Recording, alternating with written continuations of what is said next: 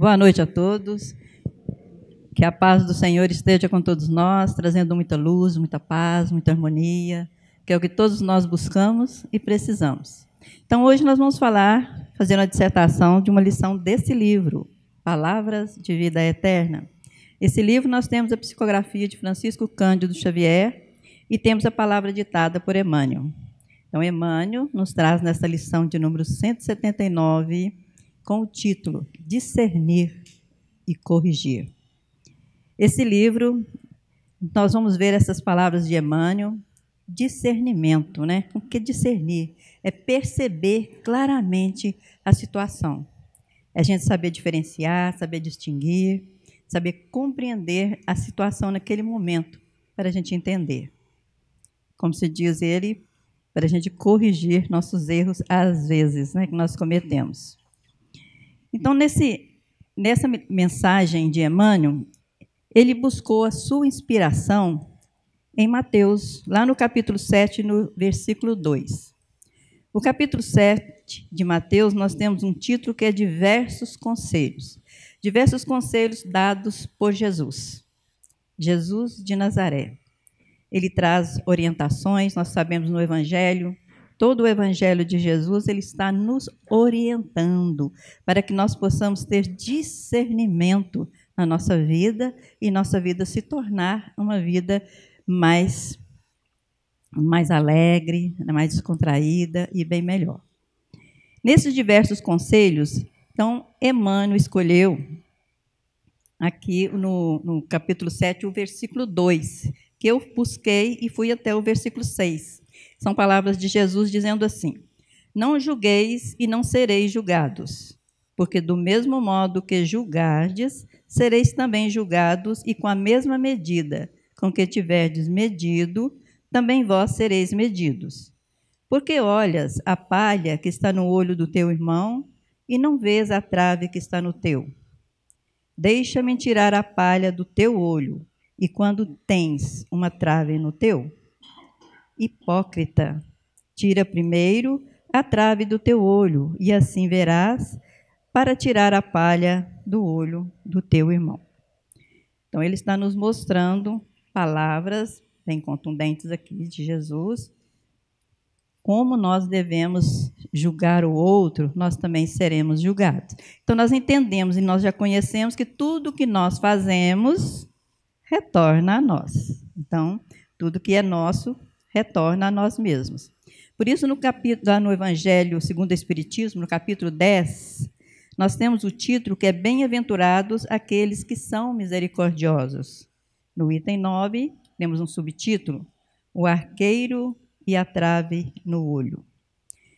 Então, nós percebemos que Allan Kardec traz para nós, no Evangelho segundo o Espiritismo, a essência da palavra de Jesus. E Jesus faz questão de nos informar que tudo que ele disse, todas as suas palavras, são palavras que o Pai o enviou para serem ditas. E ele, e ele as diz, deixou para nós, dizendo, com toda a sua alegria, para que a sua alegria estivesse em nós, para que a nossa alegria se tornasse completa. Então percebemos, como diz lá em João, no primeiro capítulo de João, ele diz também que o Verbo se fez carne e habitou entre nós. Então, nós sabemos que o Verbo é a palavra. Então, Jesus é a palavra de Deus que habitou entre nós. Então, ele traz esses ensinamentos que todos, dentro da nossa doutrina, Emmanuel, todos os espíritos buscam esses versículos de Mateus, nos evangelizadores, para que a gente possa entender melhor entender melhor o que, que Deus quer de nós, porque Jesus veio com a missão de nos trazer a mensagem de Deus. Então vamos perceber que em toda a nossa vida, quando nós vamos para entender esse ter esse discernimento, nós vamos entendendo como nós estamos aqui. Quando nós chegamos aqui, como somos? Como que é esse planeta maravilhoso, né? Que a gente chama planeta Terra, planeta Verde, planeta Azul, planeta Água e que a gente ama pela beleza quando nós conseguimos ter olhos de ver a maravilha do nosso planeta e a nós e a maravilha que somos nós também, porque somos criaturas criadas por Deus. Então vamos pensar, nós vamos imaginar quando nós vemos que Deus, na sua maravilha da sua obra, ele fez sempre dois. Ele fez o masculino e o feminino, que é o homem e mulher no condição hominal. Na condição animal, ele vem e traz um macho fêmea. No vegetal, ele traz também masculino e feminino. Olha como Deus fez um encontro de dois para se formar esse corpo carnal que nós temos. Então, nós vemos que esse encontro no, no hominal, quando chegamos nas nossas condições, é a mulher que empresta o seu ventre para que, que a semente da vida germine. Lá na condição animal, a mesma coisa. É sempre a semente da vida que germina para trazer esse corpo carnal. Então, para a gente vai entendendo, para a gente vai compreendendo melhor, tem uma passagem de Jesus onde que ele encontra com Nicodemos. Todos vocês já devem conhecer as passagens, né? Encontrando com Nicodemos por quê? Nicodemos era um fariseu, um homem letrado, um homem economicamente bem, bem já estruturado, mas ele ouvindo Jesus dizendo que, nós, que a gente teria que renascer novamente, ele questiona Jesus dizendo: Mas como eu já velho, vou me retornar ao ventre de minha mãe? Então Jesus dá essa noção, no qual eu falei agora, do encontro, né, do masculino feminino, para que haja esse corpo de carne, que ele entenderia isso. Mas ele fala do espírito, que o espírito é de Deus.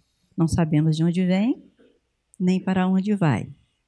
Nós temos noção, nós espiritistas temos noção às vezes de onde viemos, pelas nossas expiações, pelas nossas provações, e temos uma leve noção também para onde iremos, que são teorias que nós temos.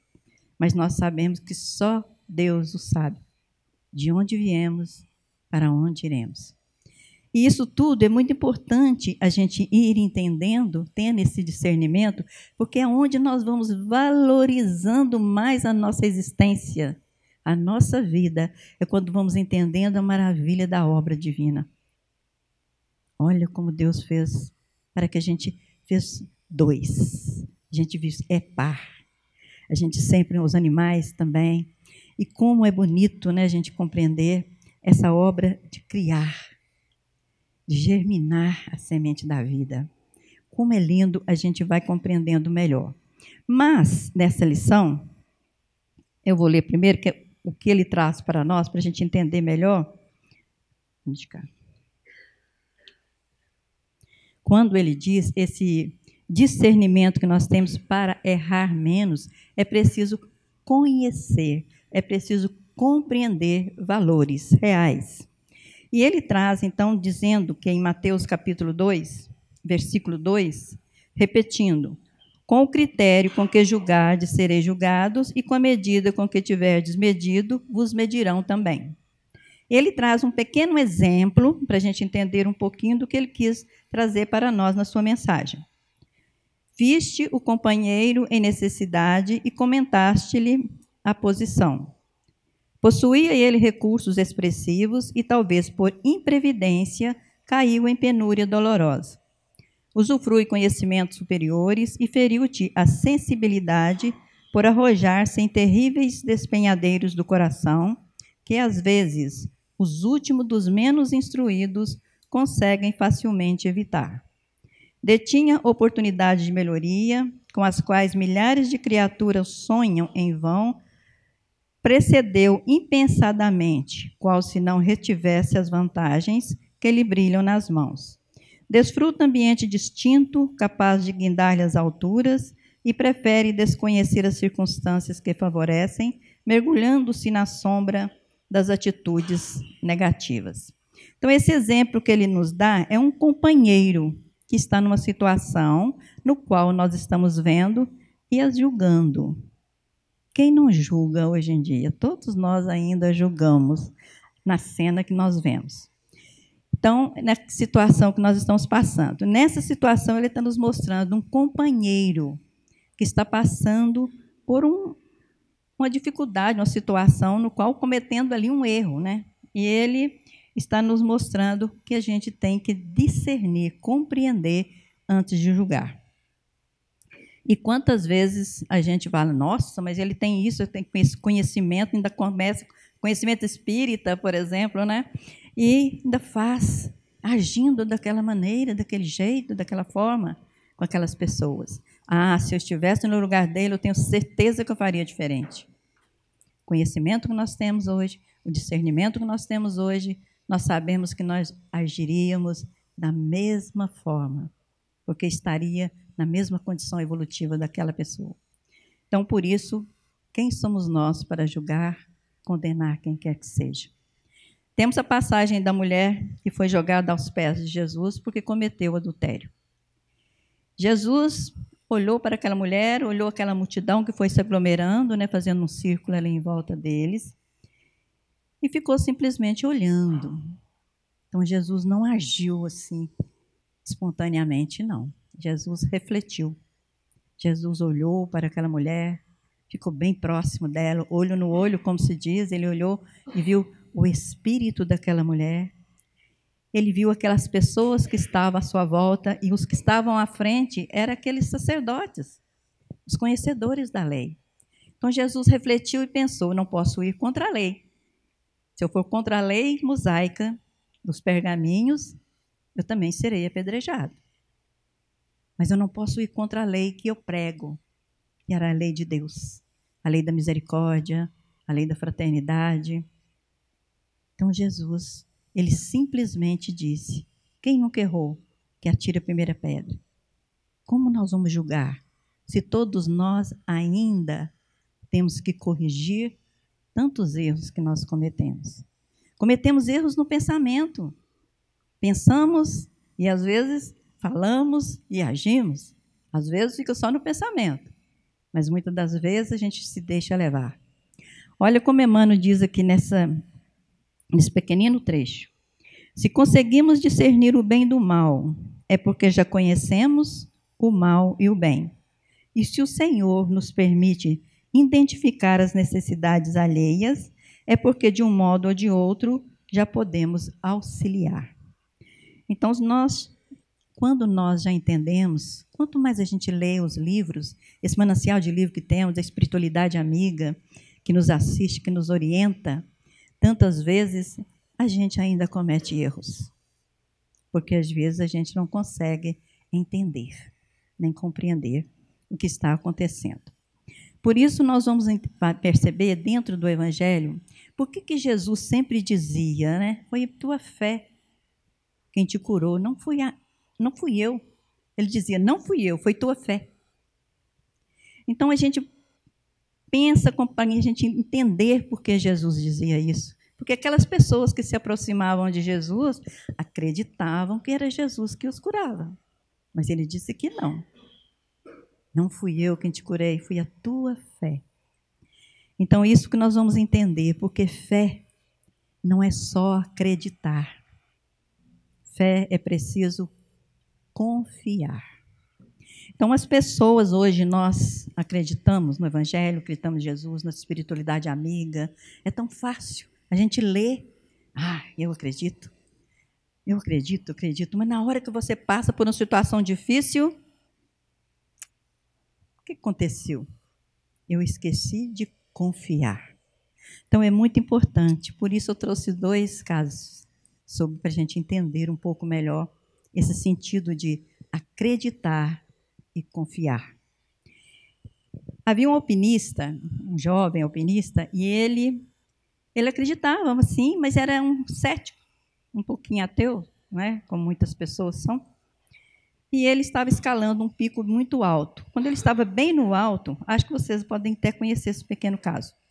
Quando ele estava bem no alto, o cabo que o prendia deu uma soltada e ele ficou preso no ar. Quando ele viu que ele estava preso ali, ele tentou todas as suas possibilidades. Ele tinha várias ferramentas, então ele tentou todas, com todas, tentando alcançar da pera ali na montanha, nada. Ele não conseguia. Quando ele viu que as suas ferramentas eram impossíveis, ele começou a gritar, chamar por todos os seus amigos para que pudessem auxiliá-lo. Até ficar rouco, ele gritou: até, como se diz, perder a fala.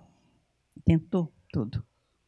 Quando ele viu, ele olhou em volta dele, aí ele pensou: é, Deus, Criador de todas as coisas. Então ele disse em pensamento: Deus, se você realmente existe, me ajude. Eu não quero morrer. Ele sabia que ele iria morrer se ficasse ali. Morreria de hipotermia, porque é muito frio lá no alto. E a noite estava chegando. Então ele totalmente dizia: Deus, se você realmente existe, me ajude. Eu não quero morrer. E ele começou a ouvir uma voz que dizia: corta a corda, corta a corda, corta a corda. E ele pensava: eu cortar a corda? Mas se eu cortar a corda aí que eu vou despenhadeiro, não tem jeito, não tem salvação. E ele não cortou a corda, apesar daquela voz ficar ali insistindo, insistindo, corta a corda. E ele tinha ferramenta, era só ele cortar. Mas ele não cortou. E no outro dia, seus amigos procurando por ele, o encontraram morto por hipotermia, durinho já, né? E um metro só de distância do solo. Se eu tivesse cortado a corda, ele teria se salvado. Então aqui está. Ele acreditava que existia um ser que criou o mundo, tudo aquilo que não foi criado pelo homem foi criado por Deus. Então, ele acreditava, mas ele não confiou. Faltou confiar. A nossa fé, nós damos credibilidade na espiritualidade, Jesus de Nazaré, é preciso confiar. No outro caso, é um caso verídico meu mesmo, que aconteceu comigo. Mas eu vou dizer primeiro que o Deus da minha infância, a pessoa que cuidava de mim, ela me ensinou ao deitar, ao levantar, fazer a prece de um anjo de guarda. E eu fazia, Santo Anjo do Senhor, meu zeloso e guardador, se a ti me confiou, piedade divina, sempre me rege, me guarde, governe, ilumine. Amém. Sei até hoje e oro até hoje, porque acredito, creio confio nesse anjo de guarda que todos nós sabemos que nós temos. Umas pessoas falam um guia, um protetor, né? Nós sabemos que nós temos, que Deus não nos deixou aqui aleatoriamente. Ele nos deixou um guia protetor que nos acompanha, que a gente não vê. Por isso a gente não vê, tem que confiar. E como eu fui aprendi, Deus de pequena, eu sim acreditava sim que eu era protegida. E acredito até hoje, com a fé inabalável, como se diz. E aconteceu no colégio, na minha adolescência, nós estávamos na turma de colégio, uma das nossas amigas lá, das nossas colegas, ela fez aniversário e nos convidou para comemorar na sua fazenda. Então fomos todos para lá. E após o almoço, estávamos todos almoçados, ela nos chama para ir até o fundo da fazenda, onde tinha um ribeirão. Ribeirão eu não conhecia, né? Quando eu cheguei nesse ribeirão, para mim era um rio enorme aquelas águas bonitas, cristalinas. Aquilo eu achei para mim uma maravilha. Então eu entrei naquela água, toda entusiasmada, e deitei de costa e deixei que aquela correnteza me levasse. E fui vendo o céu azul, aquelas nuvens, olhando a vegetação ao meu lado, admirando. De repente eu percebi que foi escurecendo porque as árvores foi fechando aquele rio. E eu resolvi olhar para trás e ver meus colegas estavam longe, estavam pequenininhos. Resolvi voltar. Quando eu voltei, que eu fiquei em pé, não dava pé para mim. Eu ia lá no fundo, aquilo me puxava para o fundo e eu voltava. E eu debatia, debatia, a gente vai entrando em pânico, né, ficando apavorado, e eu debatia, mas de repente, eu não lembro se eu pedi auxílio, não lembro isso, esse detalhe não. Eu só lembro que uma voz vinha e dizia: Fique leve como uma folha. Essa voz vinha repetido. Fique leve como uma folha. Eu obedeci consciente ou inconsciente, eu obedeci e eu boiei. Quando eu boiei, eu nadei até a margem, eu estava próximo da margem. Nadei até a margem, sentei, e meus colegas, meus amigos já estavam vindo todos correndo para me salvar. Então, hoje, conhecendo a doutrina espírita, eu percebi que eu acreditava e eu confiei naquela voz, porque eu acreditava que eu tinha um, um, alguém que me auxiliava que eu não via, que era invisível, mas estava ali. Então, isso é muito importante a gente acreditar, entender, mas confiar. Então, é isso que Jesus disse. Não fui eu quem te curei, foi a tua fé. Aquela mulher hemorradiça nos dá esse exemplo também. Ela, sabendo, tendo condições financeiras, tentou tudo para se curar de uma hemorragia e não havia conseguido. Ficou sabendo dos prodígios daquele homem de Nazaré que passava, um peregrino, e que curava as pessoas. Então ela pensou: ele pode me curar. Ele é um enviado de Deus. Eu confio. E ela enfrentou uma multidão, tocou na, na túnica de Jesus, que Jesus disse: De mim saiu virtude. E ela foi curada naquele momento. E ela se viu curada, joelhou-se aos pés de Jesus para agradecer. Jesus coloca essa mulher frente a ela, frente a ele, frente a frente, e diz: Não fui eu que te curei, foi a tua fé. Ela confiou que ele era realmente um enviado de Deus. Então é preciso nós entendermos os momentos de dificuldade que às vezes a gente fala: ah, para mim não deu certo, não aconteceu. Então vamos fazer aí uma reflexão para a gente discernir os nossos erros, onde está para que a gente possa acertar mais. Veja para a gente ver como que Allan Kardec, nesse capítulo 10, nos fala sobre fé.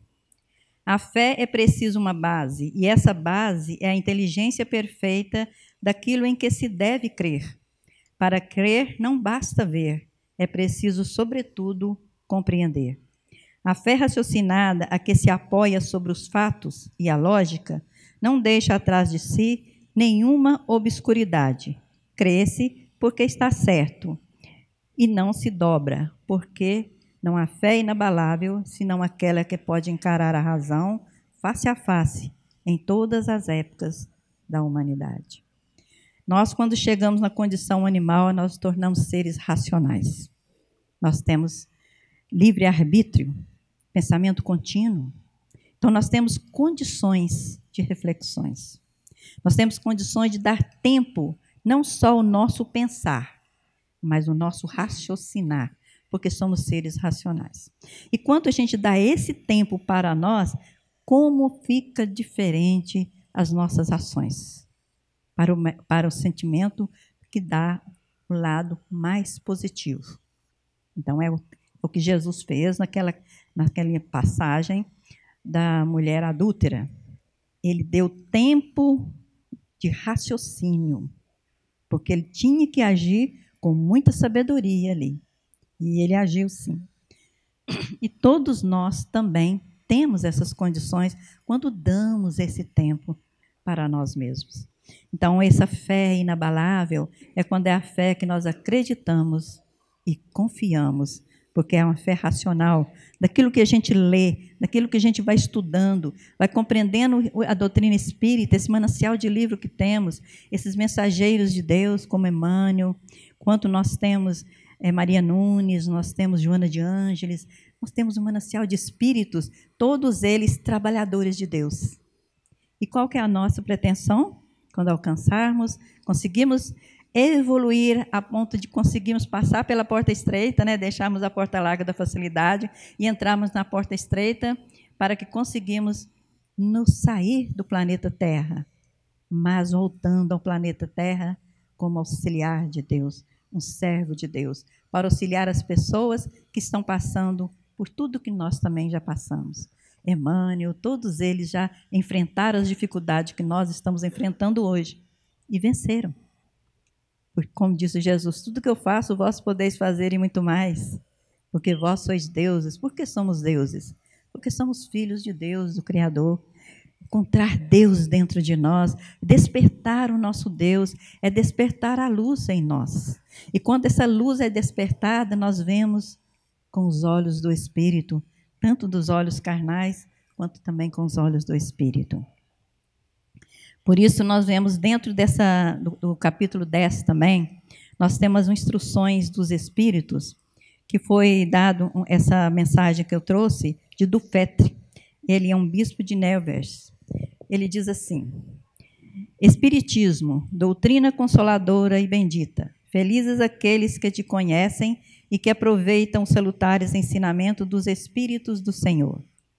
Em todo o seu percurso, para eles o caminho é iluminado, em todo o seu percurso podem ler essas palavras que lhe indicam o meio de atingir o fim.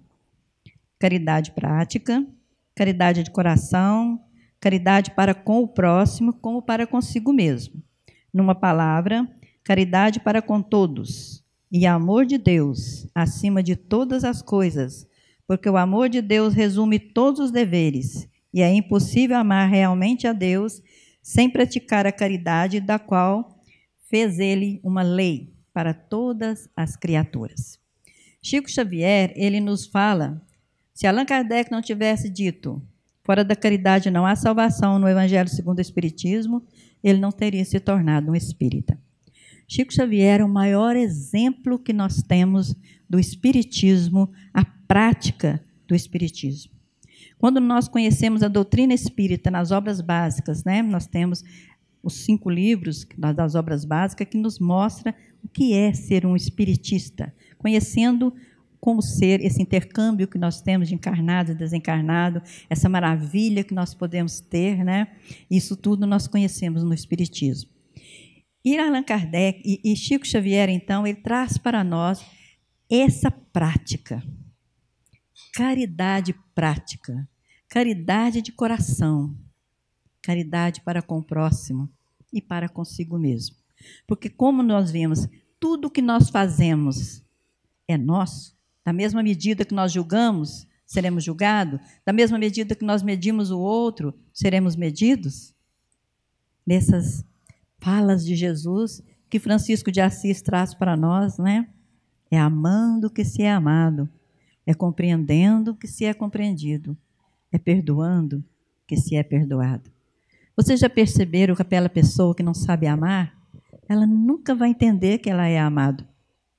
Então é preciso amar para que a gente saiba entender que somos amados.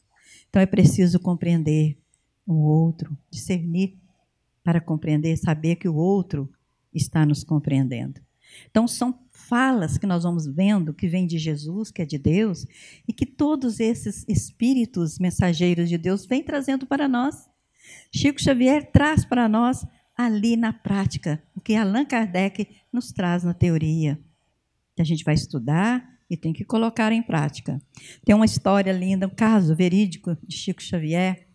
Chico Xavier tinha o hábito de sentar na, na, embaixo de um abacateiro e sentava e as pessoas iam até ele, uns para fazer doação, outros simplesmente para beijar-lhe a sua mão, outros para pedir alguma coisa sobre alguma visão que tiveram, uma notícia de um, algum parente que havia desencarnado. E havia uma jovem que estava nessa fila, esperando chegar até Chico Xavier, e ela queria saber notícia de sua mãe, que havia falecido. Ela queria saber se ela estava bem, como estava, né? como todos nós desejamos saber. E ela viu uma florzinha, essas florzinhas que nascem no muro, assim, essas florzinhas simples, né? Silvestre. E ela foi e pegou essa florzinha. Vou levar para que Chico entregue para minha mãe. A fila foi passando, ela foi se aproximando do Chico, ela percebeu que aquela florzinha havia murchado. E aí envergonhou-se, ficou com vergonha de entregar o Chico e fechou a mão. Chegando próximo ao Chico, Chico já foi logo dizendo para ela, não precisou dizer nada. Chico foi logo dizendo: tem uma senhora do seu lado. Essa senhora está dizendo que é sua mãe e que ela está muito bem, que você pode ficar tranquila, que ela está ao seu lado, está te sempre orando por você também, da mesma forma que você ora por ela. E ela falou que ela estava também agradecendo a florzinha que ela havia pegado para ela, né? E ela tinha ficado com vergonha tinha fechado a mão. E ela foi dizendo: Essa senhora que está do seu lado, ela tem os olhos azuis como o céu. E foi fazendo, decifrando aquela mulher, que aquela moça foi percebendo que ele estava realmente falando de sua mãe. Então, são passagens lindíssimas que nós conhecemos, simples, mas tão importantes na nossa vida. São passagens que nos mostra o quanto vale a pena esse intercâmbio que a doutrina espírita nos traz, de encarnados e desencarnados. Espíritos desencarnados são espíritos como nós encarnados e hoje estão lá sem esse corpo de carne, mas tentando também crescer, evoluir para encontrar a perfeição de Deus. Então a vida é um presente especial e sempre está mudando, renovando a cada dia. Eu sempre gosto de dizer, a gente, a gente, o ciclo da nossa vida é como a lua. Vocês já perceberam a lua? A lua tem os ciclos dela. Ora está cheia, ora está minguante, ora ela está crescente e ora está nova. A nossa vida é assim está sempre renovando. Nós temos ciclos de vida desde o início até o nosso fim. Nós temos um início, a nossa infância, passamos a nossa adolescência, passamos até chegar a hora de partirmos, seja que idade que for. Nós percebemos que nós passamos por muitas pessoas, por muitas experiências, pessoas da nossa época de colégio, pessoas da nossa infância que a gente era tão amigo e a gente não lembra mais. Às vezes vem na nossa memória uma lembrança vaga, mas são pessoas que passaram na nossa vida. Nossa vida está sempre renovando. Para porque somos aprendizes. Estamos sempre aprendendo com todas as pessoas que passam por nós. Nós podemos ensinar alguma coisa, sempre, mas sempre aprendendo com todas as pessoas que chegam até nós. O autoconhecimento nos aproxima amorosamente de todos os seres humanos, sem distinção de credos, raça e condição social. A existência é um jogo de luzes e sombras, e para a criatura desperta, tudo é utilidade e contribuição cooperando com seu aprendizado evolutivo. Então a vida é linda.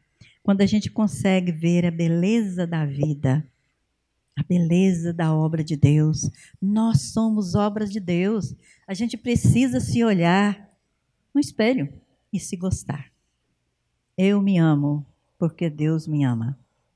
Quando a gente começa a amar a natureza, amar a vida, nós começamos a amar tudo o que nós vemos. Até essa florzinha que aquela jovem pegou, florzinha do campo tão simples e tão perfeita, porque a obra de Deus é perfeita. Nós somos obra de Deus. Somos perfeitos, mas nós estamos caminhando para a nossa evolução, para nós chegarmos na perfeição de Deus. Jesus, pregando para uma multidão, um jovem admirado com o que ele dizia, aproxima dele e diz: Tu és um homem bom. Mas Jesus olha para aquele jovem e diz: Tu me chamas bom, mas bom é o Pai que está nos céus. Sedes perfeito quanto o Pai que está nos céus. Então nós temos Deus que nos criou. E Deus eternamente está aí qualquer lugar que nós estivermos.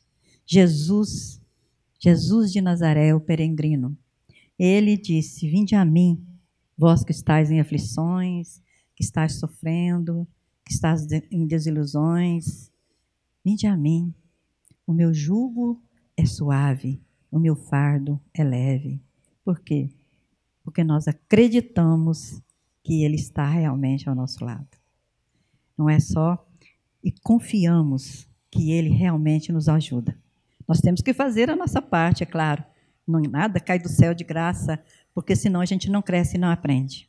E como que nós vamos discernir se nós não estamos passando uma dificuldade onde encontramos o bem ou o mal? E para terminar, eu vou ler para vocês um trecho que está num livro intitulado Sabedoria. Esse livro é de psicografia de João Nunes Maia, e foi ditado pelo espírito de Maria Nunes. É a mensagem de número 9, que tem o título Confiança, que é o confiar. Ela diz assim: O espiritualismo se divide em muitas escolas, e cada qual idealiza métodos diferentes para soerguer as almas nos roteiros tortuosos da terra, sendo que a base é sempre a mesma: o amor, a fraternidade, a paz nos corações. A justiça nos ajuda a crer que todos, sem exceção, irão conquistar o maior de todos os prêmios da vida, que é a felicidade, uma vez que são filhos do mesmo Pai. Mas para que isso se dê, urge que essa confiança cresça dentro de cada um. O preço é o esforço próprio e coletivo.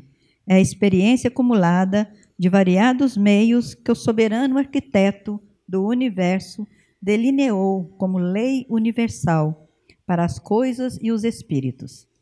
Trabalhe, medite, esforce-se em todos os rumos, pois é deste labor com Jesus de Nazaré, o Cristo enviado de Deus, que alcançaremos a verdadeira confiança na vida e em nós, nos outros e em Deus. Então, fé não é só acreditar. Fé é confiar. Que a luz de Jesus seja sempre a luz que ilumina nosso caminho. E que Deus nos abençoe a todos. Uma boa noite. Muito obrigada.